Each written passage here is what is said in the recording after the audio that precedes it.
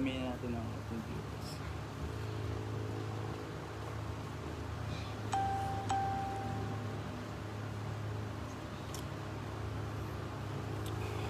Padamihin pa natin konti para malalaman nyo na yung katotohanan, di ba?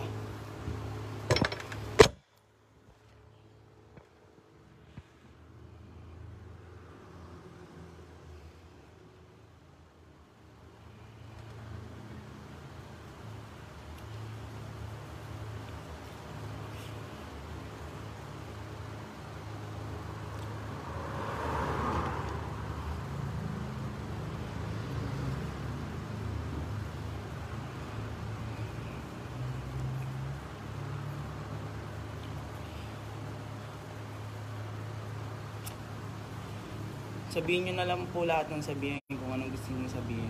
Magsasalita na po ako.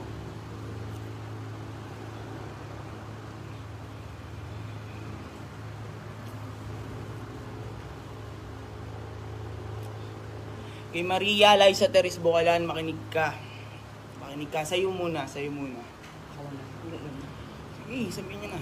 Ah, ganito, no? Yung kaya ako nandito. boses nyo, Mi. Kaya ako nandito para yung totoo yung lumabas. Na baka kasi sasabihin nyo nakikisaw-saw ako. Total nabanggit naman din ako doon sa sa issue. Sasabihin ko naman yung side namin. Therese, bakit mo kami ginaganito? Alam mo yung tinanggap kita. Tinuring kitang anak. Pero ang lumalabas, binabaliktad mo kami. Bakit ganon? Ba't hindi mo na ikwento yung ano, nag-pass forward ka kaagad? To para malinaw sa lahat, para malaman nyo yung totoo. 2017, may relasyon na si Tantan at si Ayis. So nag-break sila dahil may naging boyfriend at naging kalibin. Nagka-break sila. Umuwi siya dito ng September 2019. Tinanggap ko bisita, pero wala sila. Pero nagpunta sila ng namasyal sila hanggang October October 13, one month sa sakto nandito. Bumalik siya ng Qatar. Last week ng October, nag-message siya sa akin. Mami, delayed ako. Sorry. Ako umiyak dahil magkahalong excitement. Dahil first time ko maging lola. Umuwi siya dito noong January. February, namanhikan kami. Alam mo yan, Teres, alam mo yan. Pagdating ng March, nag-labor ka. Lahat kami nawindang kasi alam namin premature yung idinadala mo. Lahat ng ospital. Inikutan namin para lang makakuha kami ng may incubator, may magpapaanak sa'yo tsaka pedya. Balik ulit kami doon hanggang sa pumipirma na lang ng waiver to si Tristan para mapatunayan na, na wala silang pananagutan yung ospital. Dahil nung time na yon, lagi nag-aaway itong dalawang to na nagagalit ako dahil ang ano ko tumatakas to sa sa responsibilidad niya. 22 lamang si Tristan. 27 ka na, Therese. Ikaw ang mas matanda at ikaw ang nakakaalam dapat na tama. Pero pinanindigan mo. Kasagsagan Hindi mo ng, sinabi yung totoo, Ayes. Hindi mo sinabi. ng COVID. Alam mo yung risk na tinake nitong mga to para lang makapaghanap. At ako, nagtatawag ako sa mga pwede kong kontakin kung saan ka pwedeng ipasok. Niloko po ako niyan. bugbog na bugbog to sa akin. Dahil nanganak. Pati yung nagpaanak ni Loko mo na normal ang doktor, bata. niloko mo, buong pamilya, pamilya mo, niloko mo rin. Lahat niloko mo, hindi mo sinabi yan. Bakit hindi mo sinabi? Bakit hindi mo pinagtapat? Bakit nag-pass forward ka doon sa Eto ngayon? po yan, nabuntis po yan si Ayis. Nabuntis po sa Qatar. Umuwi yan dito. Umuwi po dito yan sa Pilipinas. Pumunta po sa amin. Bumisita po yan. Pagbisita po dito, ang sinasabi po dito sa amin, yun nga, syempre, ex ko nga po siya. eh. Winelcome siya ng nanay ko. Yung pala po, buntis na. Mga pangalawang araw po na andito po araw-araw yan. Opo, sasabihin ko po may nangyari po sa amin yan. Yung nangyari po sa amin yan, buntis na po pala siya noon. Dalawang buntis na po siyang, dalawang buwan na po siyang buntis.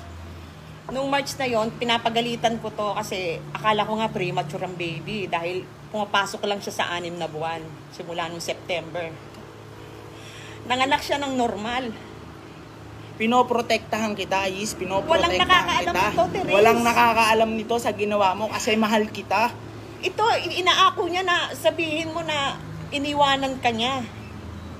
Dahil ayaw niya ng responsibilidad. Dahil napatunayan niya nga na hindi kanya yung bata. Hindi po sa akin yung bata na yan. Itong, itong kung ito yung nagbu, itong, itong pangalawa na to, kung siya ay buntis, pag yan napatunayan sa DNA test, tatanggapin ko yan, susuportahan namin yan. Hindi, mo Hindi niyo po kasi dito. alam yung unang nangyari. Hindi niya ikinuwento. Hindi ako nami. Oh, sige. Hindi niyo po alam yung unang nangyari. Una po niyan, yun nga po, nabuntis po yan. Niloko niya po lahat. Dapat po, ikakasal na po kami niyan. Yun nga po, kumpleto na po lahat. Nandito na po yan nakatira sa amin. Niloloko niya po lahat ng tao. Pag po nagpapacheck up po yan, hindi po ako niyan sinasama. Kasi nga po, yun nga po, hindi nga po talaga sa akin. Di ako naman po si Tanga, nagagali. Kasi yun, nakakahalata na po ako eh. Nagsasabi na po sa akin si mami na ano, tinatakasan mo ba yung responsibilidad mo? Ganyan, ganyan. Ganun po yung ano kasi, mahal ko nga po siya eh. Yung issue mo, Hindi na Alice. po ako nag-isip ng kung ano-ano. Alam mo, yung issue mo, hindi naman dapat na mabuksan eh. Kaya lang, inano mo kami eh. Buong pamilya ko, binanggit mo. At Pinoprotektahan kita kasi mahal kita. Oo. Tsaka, Hindi pa- namin, alam yan lahat ng pamilya mo. Tsaka wag niyo ng buong taga-amaya, alam yang ginawa mo sa akin. Tsaka wag niyo i-connect si KP. Dahil maling-mali kayo. Dahil nangyari lamang yan. Noong umalis si Merck dito at isang isang ha- halos isang linggo na nandito sa amin. Pero wag niyo sasabihin yung August, maling-mali yan. Nasasabihin kabet. Ano ba ang salitang kabet? Neng, kasal yun. Yung sinasabi mo pa na delete, dinilit ko yung Facebook mo, hindi. Ikaw ang nag-delete nun. Ikaw ang nag-delete nun. Tapos, Kasi ayaw mong, ayaw mong malaman na ng iba kung ano yung ginawa mo sa akin. Nagpa-interview ko kay MJ, hindi mo sinabi katotohanan. Hindi mo sinabi na hiwalay na tayo. at sinabi Ilang mo buwan pa, na tayong hiwalay. yung sa bata, hindi pa pala yung naging kalibin mo. Ang ang naging Hindi, eto, ipapaliwanag ko po sa kanya, sa inyong lahat. Kaya po yan pinagmumura ko. Opo, totoo po yun, pinagmumura ko yan. Pinagmumura ko yan. Kasi po yan, nagsabi na po siya sa akin ng hindi ko nga po anak. Kasi po nalaman ko po yung nanganak na. Nanganak na po yan, guys. Nanganak na po. normal, talagang Ang sinabi niya po, pinalabas niya po dito, yung umuwi siya, two months na raw siyang buli, ng buntis. Binibilang ko po yung buwan. Binibilang ko, pero hindi pa rin po pa. So, kaya po hindi ako niyan sinasama sa ospital kasi nga malalaman ko. Ako naman pong si Tanga. Sige, ikaw na lang muna, hindi ko siya sinasamahan. Tapos eto po, nag-away na po kami niyan, nandito po siya sa amin. Nag-away na po kami niyan. Sabi ko sa kanya, ano ba talaga totoo? Kasi may nakita po akong chat nung, nung ex niya. Na bago pa siya pumunta dito sa amin, kasama niya na po yung ex niya. Sana sinabi mo yung totoo, Ayis, kasi nakita mo kung paano kita pinagtanggol, kung paano kita tinanggap dito. Alam mo yan. Alam mo yan sa sarili mo, Ayis, na minahal kita ng totoo. Hindi kita kahit isang beses niloko, ikaw ang nang, Ikaw ang nagloko sa akin. Pinaikot mo kaming lahat, hindi mo alam yung ginawa mo sa amin. Nagkaroon ng trauma to. Halos bantayan namin to para lamang walang, walang, walang gawing masama. Kasi hirap na hirap na raw siya. Ay, hindi ako nagkukonsinting ina. Nanay ako. Binibigay ko lang yung totoo. Yan ang gusto niyo eh. Totoo. Ito ang totoo. Ito ang totoo nangyari. Hindi kami pa victim dito. Tsaka ayis, ang tagal na iniintay ko kayo dito pumunta sa amin. Sa akin punta ng punta sa barangay. Kasi may bago na ulit problema. Yun yun eh. Ano sabi ko nung pumunta ang lola mo dito sa amin? Nag-uusap po kami ni Ayis. Nay, hindi niyo ba nabanggit sa'yo yun? Nakakaano lang eh kasi hindi na namin to dapat ungkatin kasi tapos na eh. Kaya lang, ikaw yung naggumawa ng dahilan para kami magsalita ngayon. Buong pamilya, minimension mo. Iniisip pa kita na sa mga tropa ko, kumuha ako ng mga ninong, na mga ninang yung sinasabi mong anak. Oo, Lahat nakasettle na po lahat. namanhikan kami dyan, February. Yung Para ipon ko po, yung pera ko po, dyan naubos lahat. Dyan po lahat naubos. Ito po yung totoo. Ako nagpa-interview dito dahil minention mo ko. Alam mo yung totoo, Therese. Alam mo kung paano kita, tinang- kita tinanggap bilang isang anak. Dahil sabi mo, sabik ka sa nanay. Pero anong ginawa mo sa amin? Kaya ayoko makipag-usap sa barangay dahil wala namang alam ang barangay dito.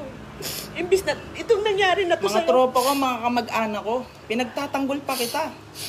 Tinatanong ako, Tan, kamusta anak mo? Ayun, okay naman, premature, pero hiwalay na kami. Yan ang sinasabi ko. Kasi pinoprotektahan kita. Kasi mahal kita. Pero anong ginawa, binabaliktad mo ko. Okay, ito naman hindi mo sinabi na lang sinasabi namin. yung mag ginawa mo sa akin, Ayis, hindi mo sinasabi. Nag-away tayo, ako mag... Nag-away tayo, Ayis, nag-away tayong dalawa.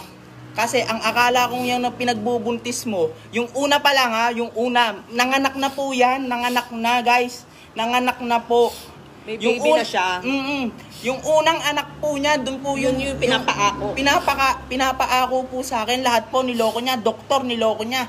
Manganganak na po yan, ang sabi niya sa doktor, six months lang daw. Tinurukan pa po yan ng ano, yung, pam, yung pampakapit para hindi po lumabas yung bata. Niloko niya lahat, yung doktor. Pinapirma na ako ng waiver, sabi, hindi ko sure kung mabubuhay yung bata o yung asawa mo, sabi sa akin ganun. Kasi ngayon lang nangyari Ngayon, to. Therese, kung talagang yung pinagbubuntis mo ngayon ay kay Tristan, susuportahan ka namin. Hindi, eto yan. lang yung DNA test. Yang... Hindi na kasi. Eto pa. Niloko mo lahat. Pamilya ko, mga tropa ko, pero pinoprotektahan pa rin kita. Namanhigan kami dyan. Buong pamilya ko, buong mga kamag-anak ko sa Indang umuwi sa inyo. Namanhigan kami. Kayo bahala kung maniniwala kayo sa amin, pero ito lang yung totoo. Kaya kami nagsasalita. Idinidepensa namin kung ano yung totoo. Kung may, kung may totoo man doon sa sinasabi niyang interview, pinas forward niya yon May pinanggagalingan kung bakit. Hindi niya yun sinabi. Kayo nang bahala. Tsaka pasensya na doon sa mga taong na, na hindi naman dapat napasama dito. Yung, yung in, i- kinoconnect nyo.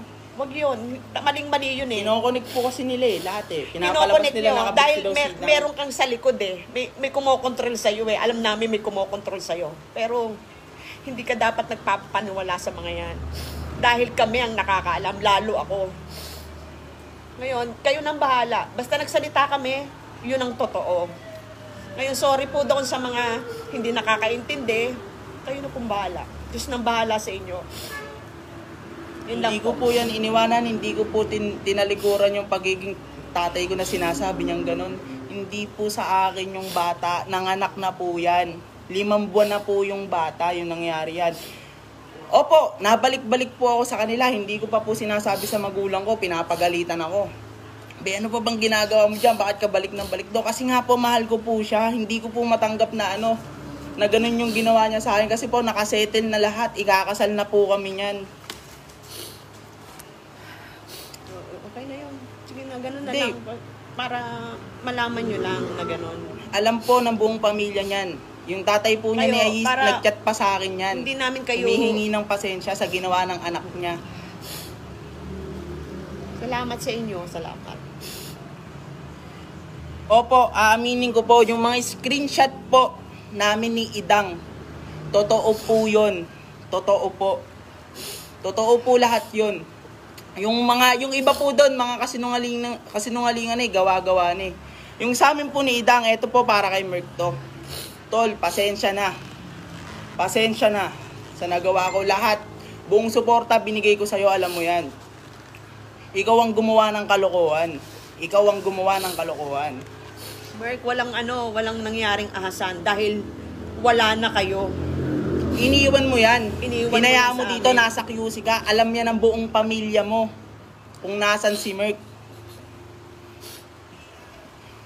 Na ospital pa yan si Idang. Ako ang nag-alaga dyan. Oo, sabihin na natin ako nag-comfort dyan kasi awang-awa na ako dyan sa panloloko yung lahat. Buong pamilya mo, alam. Walang ahas ang nangyari. Dahil nangyari yon na sila, wala na sila ni Merck. Yung sinasabi nyo August pa, hindi po totoo Hindi yun. po totoo yan. Nito lang po niyan. yan. Simula po nung pumunta po dito si Idang. At saka yung sinasabi niyang kabet, hindi kayo kasal. Hindi pa kayo kasal. Maling-mali yung sinasabi niyo. Si KP, totoong dito nagstay sa amin nung time na nawawala si Merck. Nakakaawa. Pero kayo,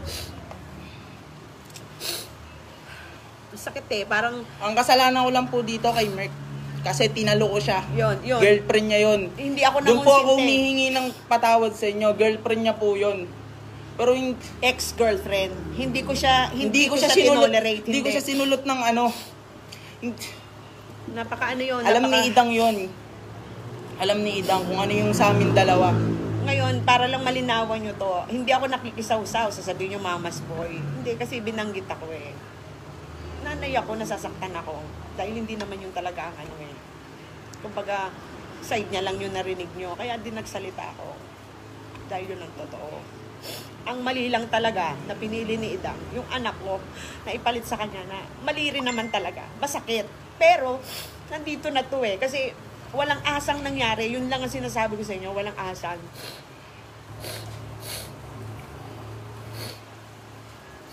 Yung screenshot sa akin, totoo yan. Pero bakit edited? Bakit hindi nyo inilagay lahat? Ang inilagay nyo lamang doon eh, yung magpapasama kay KP at saka kay Tantan. Bakit hindi nyo inilagay lahat? Nag-pass forward na kayo, nag-edit pa kayo. Napakasakit nun. Ikaw ang gumawa ng kalokohan mo, Merck. Sinuportahan ka namin dyan. Mark, alam mo kung paano kita tinuring. Na humihingi din ako ng tawad sa'yo dahil nangyari na to eh. Eto na eh. Pero hindi ka inahas dahil wala na kayo nung naging sila. Hindi ko masisisi si Idang.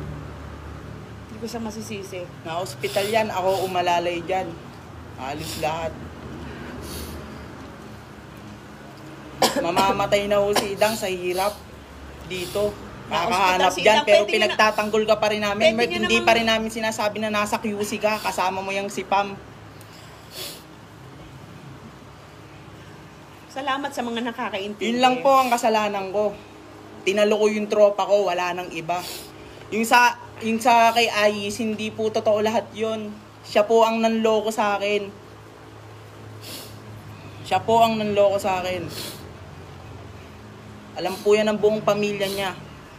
Pagkatapos po nito, ilalabas ko po yung mga screenshot ng chat namin. Oo, para malaman nyo din yung ano, kung hindi pa rin kayo naniniwala. Wala na kaming magagawa doon. Basta naglabas kami ng totoo. Ako po humihingi ng pasensya Sorry, sa inyong sorry. lahat. Pasensya na po sa lahat. Sa ginawa ko kay Merck. Kasi kahit papano, kakabreak lang nila, oo, totoo yung kakabreak lang nila. Pero ako yung nakasama ni Idang.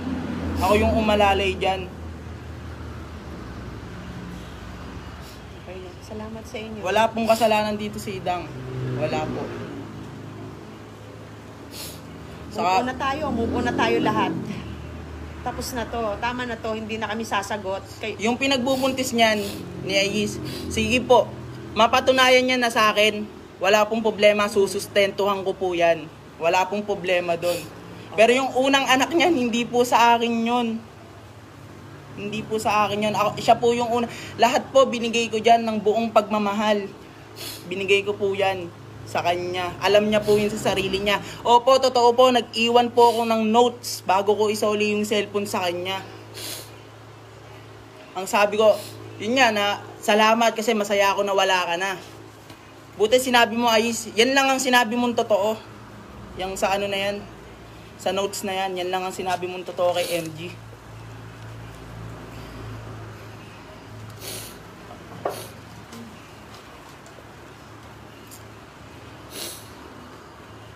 Hindi ako makapaniwala sa ginawa mo, Ayis. Hindi ako makapaniwala. Alam ko napapanood mo to, Ais, napapanood mo to. Alam mo yung totoo na niloko mo ko. Kaya, kaya kita pinagmumura. Opo, totoo po yun. Yung 4K na yon Ano po yung kami pong apat nila Merc yun. Ako, si Chen Chen, si Kuya Mark, saka si Merc. Kaya po nabuo yung 4K na yan, ito po yung katotohanan. Kumuha po kami ng mga pawok, apat na libo po yan sa Dasma. Ngayon po, nahuli po si Nikki. Nahuli po ni Nikki, yung girlfriend po ng kambal ko, si Chen Chen, pinagtanggol ko po yun. Sabi ko, "A- akin po yan, ako po talaga yung chicks niya. Kasi, totoo po yun na pinagtatakpan ko minsan si Chen Chen pag siya po yung nanguhuli ng bababae. Totoo po yun. Tapos, kung sino-sino na po inaway yan, nakipaghiwalay na po ako dyan. Hindi pa po August kasi po, nag-ano po siya sa akin eh. Hindi pa po pala yung kalibin niya yung nakabuntis sa kanya. Sa Qatar, hindi pa po yun. Yung nakainuman niya lang po. Kilala ko yun, yung nakabuntis sa'yo, kilala ko. Hindi ko na lang po babanggitin yung pangalan. Kasi may pamilya din po yun, ikaw ang kabit. Tandaan mo yan, ikaw ang kabit, may pamilya yun nakabuntis sa'yo. Okay na, okay na yan. Ang kasalanan ko lang po dito, yung sa amin ni Merck. Kasi kaibigan ko po siya, pinagkatiwalaan niya ako. Humihingi po ako ng sorry doon. Tawad sa inyo. Pero wala Mali pong, talaga kasa- yun. wala pong kasalanan si Idang.